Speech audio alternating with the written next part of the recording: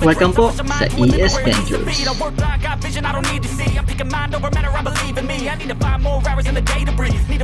Hello, my name is DJE of ES Ventures.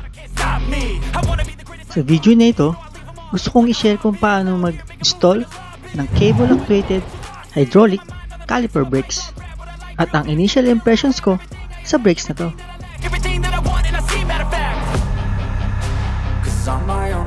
Ito ang Zoom X-Tech cable-actuated hydraulic brakes. Hydraulic brakes ito na hinihila ng cable. Kadalasang ginagamit to sa road bike, cyclocross, o gravel. Pero pwede pa rin naman to gamitin sa mountain bike. Ito rin nga pala yung latest nilang kulay na oil slick, rainbow, o yung colorful. Madali lang itong i-install madaling i-adjust ang pads kasi double piston drive na rin ito.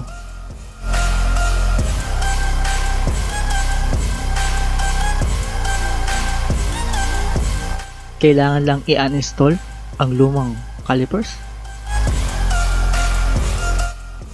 Plies at allen wrench lang naman kadalasan ang kailangan dito.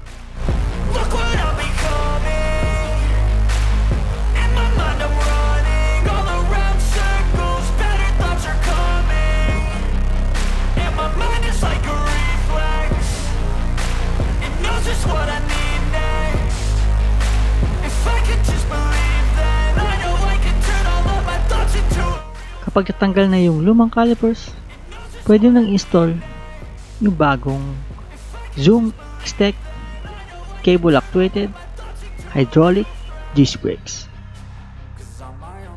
Kailangan lang i-fix yung screws at gawan ng magandang clearance ang rotor at pads. control wake up obsessed,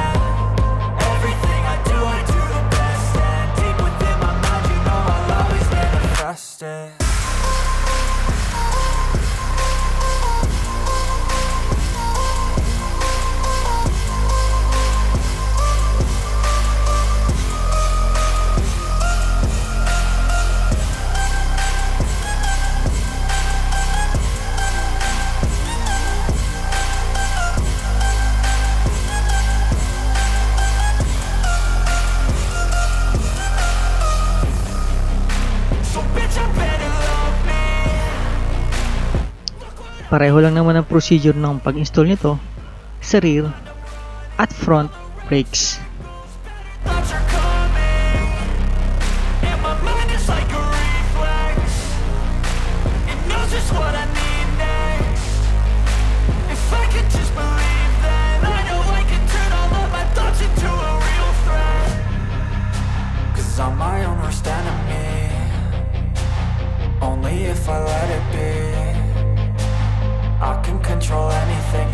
Just think carefully. I control my destiny.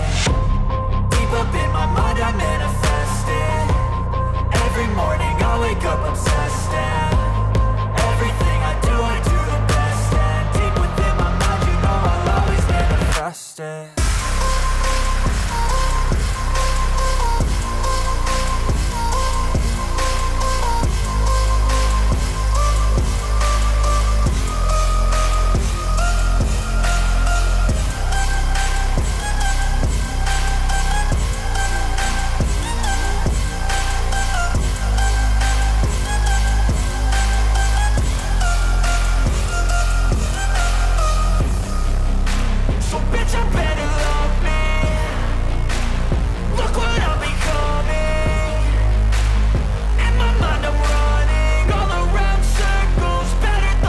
So ayun, ganun lang kasimple mag-install ng cable actuated hydraulic disc brakes.